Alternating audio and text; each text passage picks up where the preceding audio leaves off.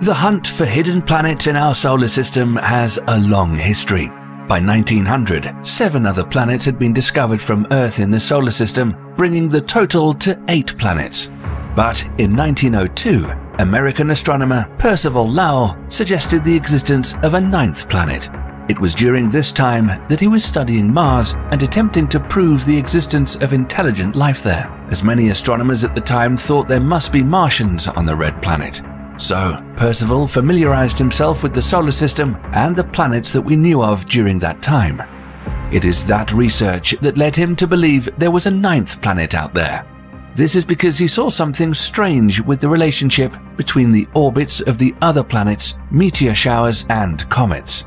In fact, something seemed to be affecting the orbits of Uranus and Neptune. In 1905, he began his search for this planet, but would never find it. Lowell passed away in 1916, but another American astronomer would come along and find this mysterious ninth planet. And on February 18, 1930, another American astronomer by the name of Claude Tombaugh would find this celestial object, and it would be named Pluto. That's right, Pluto was once known as Planet X. So, why did we tell you all this?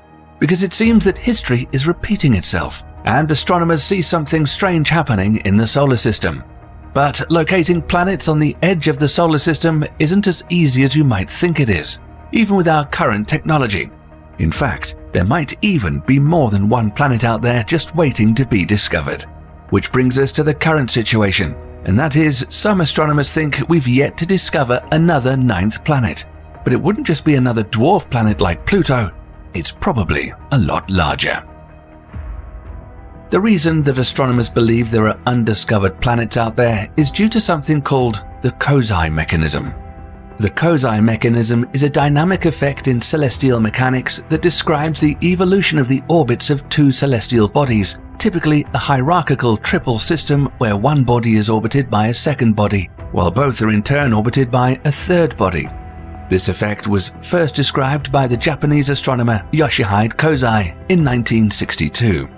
In a hierarchical triple system, the Kozai mechanism causes the inclination and eccentricity of the inner body's orbit to oscillate in a periodic manner.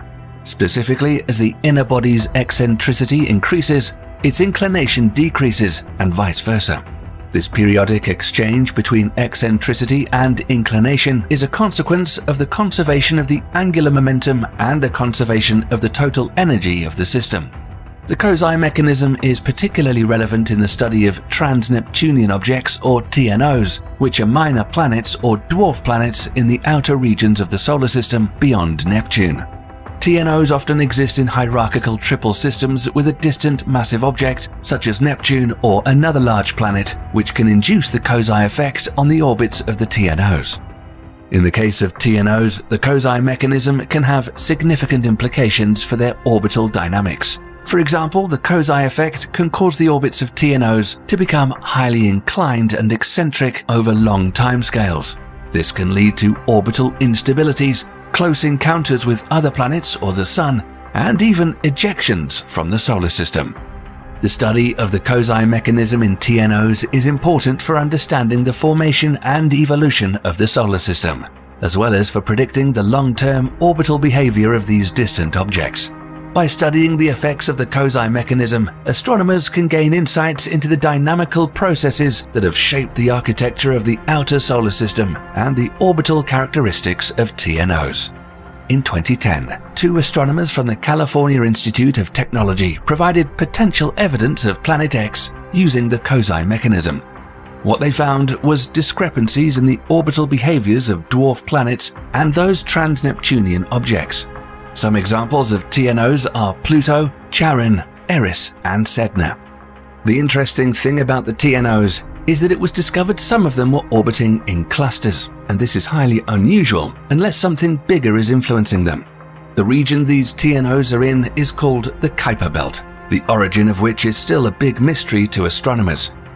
This region of the solar system is incredibly dark and reflects very little light from the sun. Based on models, astronomers think that Planet X is at least 20 times farther from the Sun than Neptune. the average distance of Neptune from the Sun is around 2.8 billion miles. That's so far away that it's mind boggling to comprehend. It takes Neptune about 165 Earth years to make one orbit around the Sun. If Planet X is out there at that distance, astronomers believe it would take between 10 and 20,000 years to make one full orbit around our Sun. Add all these things together, and you get an idea of why it's been so hard for us to locate. In 2014, scientists did calculations and believe that if Planet X does exist, it has to be somewhere between 2 and 15 times more massive than the Earth, and in an orbit between 250 to 1500 astronomical units from the Sun. One astronomical unit, which is defined as the distance between the Earth and the Sun, is 93 million miles. In other words, it's far, far away from us. That is, if it exists. So where are we now in our search? There could be one last place that this mysterious phantom planet could be hiding. Astronomers using the Pan-STARRS or Panoramic Survey Telescope and Rapid Response System are continuing to systematically cover all the regions of the sky where the planet is predicted to be. So far, a team has said that it's eliminated 80% of the possible locations that were calculated from previous studies. But there is another telescope scientists say will find Planet X almost immediately if it's out there. The Vera C. Rubin Observatory, or the Large Synoptic Survey Telescope, is currently under construction, and it's due to come online in January 2025. According to an astronomer by the name of Man Ho Chan from the Education University of Hong Kong, there could be as many as 20 moons surrounding Planet X, each measuring about 62 miles in diameter. Chan says that these moons would be hot from tidal heating from Planet X, and that would raise the temperature of these objects to around minus 280 degrees Fahrenheit. That doesn't sound very warm at all, but the average temperature in the Kuiper Belt is a chilly minus 370 degrees Fahrenheit. An example of a hot moon is the volcanically active Io, which orbits Jupiter. The extremely hot molten core of the moon is the result of intense tidal heating generated by its tug of war with Jupiter. Therefore, if Planet X has moons, and they do get this hot, they will likely emit a faint radio signal that can be picked up by the new Rubin telescope when it comes online. That said, the hunt for Planet X is still on. Remember when we said earlier that there might be two planets out there? Well, astronomers have been searching the cold and mysterious Oort cloud, which is at the end of our solar system, and we're now saying that this vast collection of icy objects, which stretches somewhere between a few hundred billion to several trillion miles from the Sun, could be hiding an alien exoplanet. So, how did they come up with this idea? An international team of researchers have simulated the unstable mechanics of the early solar system and found the possibility that one or more planet sized bodies came to rest in the Oort cloud, and this is how it could have happened. Around 4.5 billion years ago, when the solar system was first beginning to form, it was a chaotic place. Rapidly cooling protoplanetary dust clouds sent debris in all directions from large pieces of rock to planet sized chunks of debris that would have been thrown far enough to escape the sun's gravity. The interesting thing is that astronomers have observed rogue planets wandering around in other distant solar systems. Although they admit there is a fairly slim chance that one of these rogue planets formed in our early solar system, it's still possible that not only did one or two planets form, they certainly could be floating out there in the cold, icy darkness of the Oort cloud. However, they also think that it's more likely that a Neptune like planet from another solar system was grabbed by the Sun's gravity and came to rest somewhere in the Oort cloud.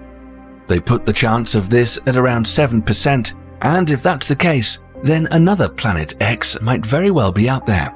Although, if it was, it would still be too far away to influence the orbit of Neptune, and still be as hard to detect. Maybe Planet X or this other theoretical alien planet doesn't exist at all. It could be something completely different. In fact, at least a couple of physicists think that Planet X isn't a planet at all, but instead a primordial black hole. It was the late physicist Stephen Hawking who believed that these types of black holes were remnants of the Big Bang and could range in size from an atom to 100,000 times larger than the Sun.